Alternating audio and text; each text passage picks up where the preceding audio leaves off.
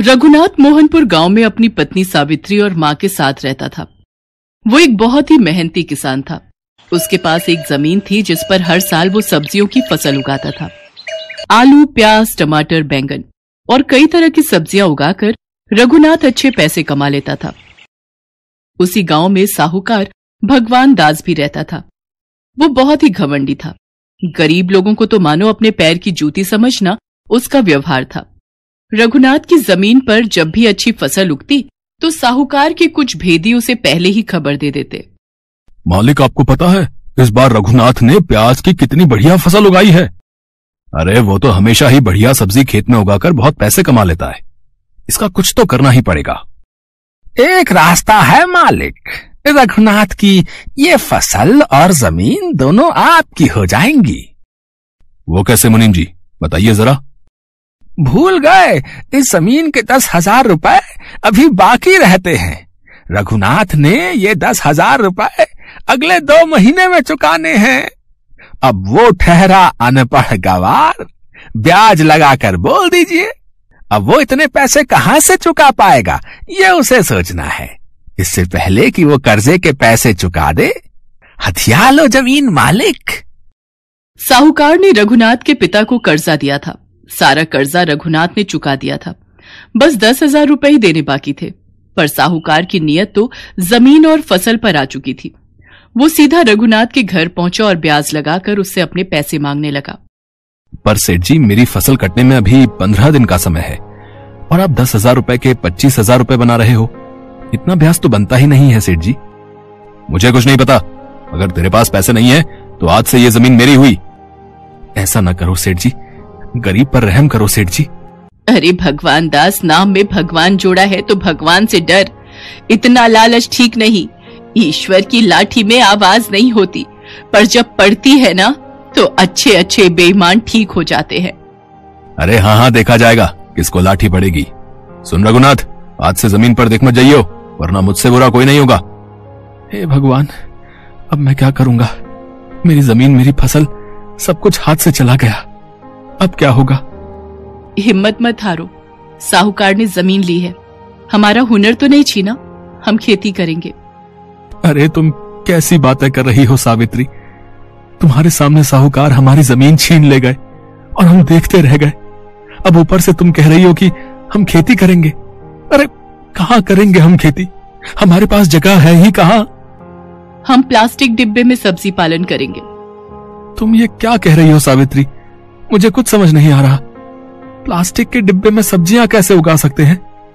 सावित्री बहू, सब्ज़ियाँ उगाने के लिए खेत होते हैं, जमीनें होती हैं। भला एक छोटे से डिब्बे में सब्ज़ी कैसे उगाई जा सकती है? माँ जी, एक बार शादी से पहले मैं अपनी सहेली से मिलने शहर गई थी। उसने अपने घर की छत पर एक बाग बना रखा है, जहाँ पर वो डिब्बों में सब्ज़ियाँ और फल उगाती है और घर की उगी हुई सब्जियों का ही इस्तेमाल करती है। हमें कोई ना कोई रास्ता तो अपनाना ही होगा। क्यों ना यही करके देख लिया जाए? सावित्री कहना आसान है। क्या हम ये कर पाएँगे? अरे आप तो वैसे भी सब्ज़ियाँ उगाने में माहिर हो। मुझे पता है आप अच्छी खेती कर लोगे। बस हमें प्लास्टिक के डिब्बे चाहिए जिनमें हम सब्जियों के बीज डाल सके। एक काम करते हैं सबसे पहले हम टमाटर और बैंगन की खेती करते हैं। अगर वो अच्छी हुई तो हम और भी सब्ज़ियाँ उगा लेंगे। और आपको पता है इसका एक फ़ायदा और होगा? हम एक साथ बहुत सारी फ़सल उगा सकते हैं। टमाटर बैंगन खीरा मूली आलू प्याज धनिया पुदीना और भी कई तरह की सब्ज़ियाँ। फिर तो हमारी बिक्री भी और ज़्यादा होगी बहू। हाँ माँ जी प्लास्टिक के डिब्बों में सब्ज़ी उगाने का यही तो फ़ायदा है। सुनिए हम बाज़ार से कुछ प्लास्टिक के डिब्बे खरीद लाते हैं। ठीक है सावित्री। चलो तुम्हारे कहने पर यह भी करके देख लेते हैं। सावित्री बहुत सूझबूझ के साथ रघुनाथ के साथ मिलकर डिब्बों में सब्ज़ियाँ लगाती है। कुछ ही दिनों में सावित्री और रघुनाथ की मेहनत रंग ले आती है। घर के बाहर खाली जगह में सावित्री ने प्लास्टिक के डिब्बों में टमाटर और बैंगन उगाए थे और दोनों उनकी बहुत देखभाल करते थे। धीरे धीरे टमाटर और बैंगन के पौधे उगने लगे और कुछ ही समय बाद उन पर बहुत ही ताजी और बढ़िया टमाटर और बैंगन उगाए। इतनी अच्छी फ़सल के बारे में तो रघुनाथ ने कभी सोचा ही नहीं था। रघुनाथ और उसकी माँ बहुत खुश थे। सावित्री, तुमने तो कमाल कर दिया। इन डिब्बों में कितने बढ़िया टमाटर और बैगन उगाए हैं। मैंने आपको कहा था ना, हमारी मेहनत रंग लाएगी।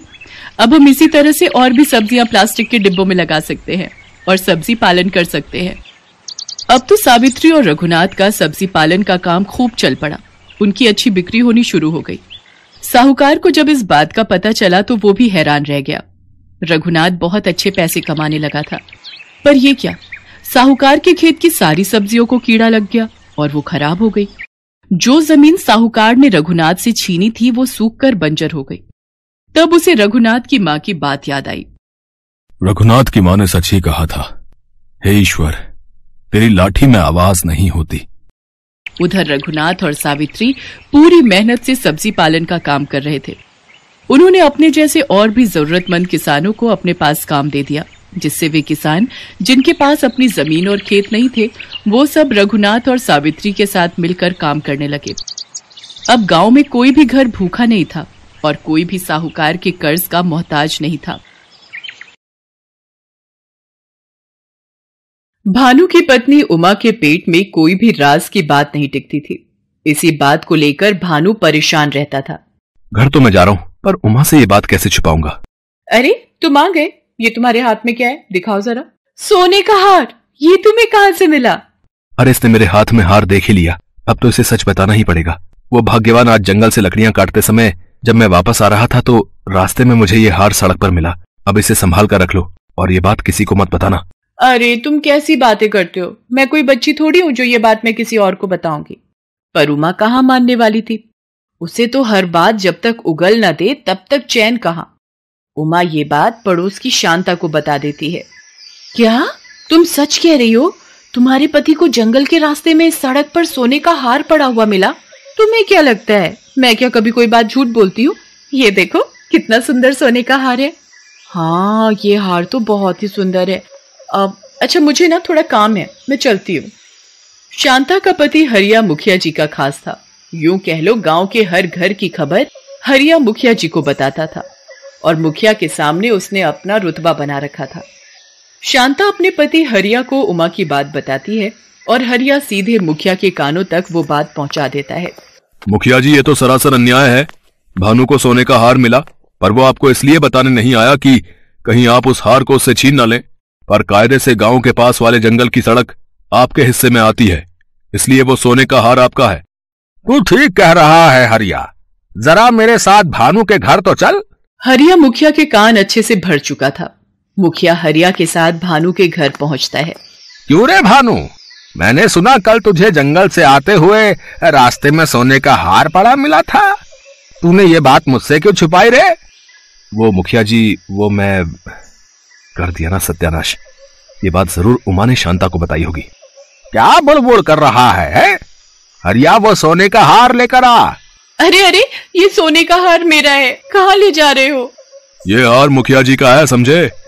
आज के बाद तुम दोनों ने जरा सी भी चालाकी दिखाई तो मुझसे बुरा कोई नहीं होगा। चल हरिया। मैंने कहा था ना तुमसे ये बात किसी को मत बताना पर तुम्हारे पेट में कोई बात रुकती कहाँ है? गलती हो गई। अब ये गलती दोबारा नहीं करूँगी। मेरा सोने का हार मुखिया जी ले गए। पर उमा कहाँ सुधरने वाली थी? ऐसे ही एक दिन जब भानु जंगल में दोबारा लकड़ियाँ काटने गया। अरे, लगता है बारिश आने वाली है। जल्दी से किसी पेड़ पर चढ़ जाता हूँ। आज तो मुझे खाली हाथ ही लौटना पड़ेगा। अरे, ये पेड़ के ऊपर पोटली कैसी? ये तो सोने के सिक्कों से भरी हुई है। कहीं ऐसा तो नहीं कि किसी चोर ने इस जंगल में पोटली छुपा कर रख दी हो और बाद में इसे ले जा नहीं सका। पर अब तो ये पोटली मेरी है। मैं इस पोटली को अपने साथ ले जाता हूँ। अरे, नहीं नहीं। अगर इस पोटली को घर ले गया तो उमा ये खबर पूरे गाँव में फैला देगी। मेरे पास एक तरकीब है। भानु घर जाता है और उमा से कहता है उमा तुम्हें पता है आज मैंने जंगल में एक चमत्कार देखा। एक पेड़ गोभी के पराठे उगल रहा था। अच्छा मज़ाक कर लेते हो तुम भी। तुम्हें यकीन नहीं? तो चलो मेरे साथ मैं तुम्हें दिखाता हूँ। पर इतनी रात को जाएँगे? तो और क्या अभी चलते कहीं सुबह तक पेड़ से गोभी के पराठे गायब हो गए तो? हाँ हाँ चलो। वैसे हमने सुबह ही गोभी के पराठे खाए थे पर अब पेड़ से उगले खा लेंगे। रात की रोटी की छुट्टी। सही कहा भाग्यवान। बस वो पेड़ सामने ही है। वो देखो सामने पेड़ गोभी के पराठों से भरा हुआ है। सचमुच तुम बिल्कुल सही कह रहे थे। ये पेड़ तो गोभी के पराठे उगल रहा है। ये सचमुच जादू है। उमा ये तो कोई चमत्कारी पेड़ है। ये देखो इस पेड़ के ऊपर सोने के सिक्कों से भरी एक पोटली भी रखी है। हाँ सच्ची ये तो कोई जादुई पेड़ है। उमा अब हम अमीर हो गए। तुम सुंदर सुंदर गहने पहनना अब हमारे पास भी खूब पैसा होगा। पर तुम ये बात किसी से मत कहना। लेकिन उमा तो फिर अपनी आदत से मजबूर थी। उसने फिर से ये बात शांता को बता दी। शांता ने हरिया से कहा और हरिया फिर से मुखिया के पास पहुँच गया। इस बार मैं इन दोनों को नहीं छोड़ूँगा। हरिया जाकर लकर हारे भानु और उसकी पत्नी उमा को मेरी हवेली पर लेकर आओ। चलो तुम दोनों को मुखिया जी ने अभी हवेली पर बुलाया लगता है उमा ने फिर से शांता को सारी बात बता दी है। भानु क्या ये बात सच है कि तुझे जंगल से सोने के सिक्कों की पोटली मिली है? कैसी बातें कर रहे हैं मालिक। मुझे तो जंगल से कोई सोने के सिक्कों की पोटली नहीं मिली। आपसे किसने कहा? क्यों? तुम्हारी पत्नी ने मेरी पत्नी शांता से कहा था कि कल रात तुम्हें जंगल से एक सोने के सिक्कों की पोटली मिली है। अब बोलो क्या जवाब है तुम्हारे पास? या तुम दोनों को सूली पर चढ़वा दूँ? मुखिया जी शायद आप नहीं जानते। उमा को नींद में सपने देखने की बहुत बुरी आदत है।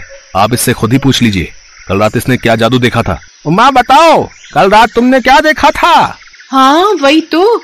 जिस पेड़ पर गोभी के पराठे लगे थे उसी पर तो सोने के सिक्कों की पोटली थी। उमा ये तुम क्या बकवास बातें बोल रही हो? ऐसा ऐसा भला हो सकता है? मुखिया जी अब ये कहेगी कि इसने पेड़ के ऊपर सोने के सिक्के भी देखे थे। हाँ वही तो। जिस पेड़ पर गोभी के पराठे लगे थे उसी पर तो सोने के सिक्कों की पोटली थी। भानु उमा को इसी वक्त मेरी आँखों के सामने से ले जाओ वरना मैं गुस्से में पागल हो जाऊँगा। मेरे हाथों से तुम दोनों को कोई नहीं बचा सकता। और हरिया तू भी अपनी पत्नी को समझा दे। पहले बात को पूरी सुना करे उसके बाद ही बताया करे। कुछ भी बोल देती है। मेरा समय खराब कर दिया। भानु और उमा घर आ जाते हैं। उमा अभी भी यही सोच रही थी कि कहीं उसने सच में सपना ही तो नहीं देखा था। और भानु मन ही मन अपनी समझदारी पर मुस्कुरा रहा था। Thanks for watching.